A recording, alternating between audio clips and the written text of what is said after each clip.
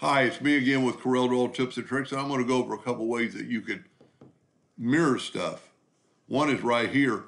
Your object origin is normally set in the middle for default, but if you set it there and we hit the plus key on the keyboard, when we mirror it, it moves it over. Well, I didn't actually make a copy of it. I must not have hit the plus key good enough. So now you got two copies that are mirrored. You can do the same thing by just hitting the plus key, holding down your control button and just move it over.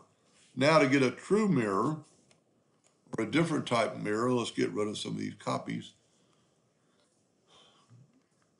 Now we just got one copy. Copy. You can always go to Windows, Dockers, Transform, and pick right here a mirror. And if we'll use this node and we mirror it horizontally, I need to check on that again. And it, it gives you a true mirror because it actually puts it upside down. Now, what you can also think about, you could have it mirror from up here. And it's going to do that mirror. And this is a true way to get stuff, you know, instead of having it snap to.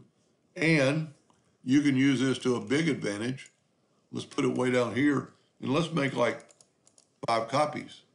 And it stacked it up and mirrored each one of them. So there's a bunch of ways to do that. Anyway, I hope that helped a little bit. Thank you for watching.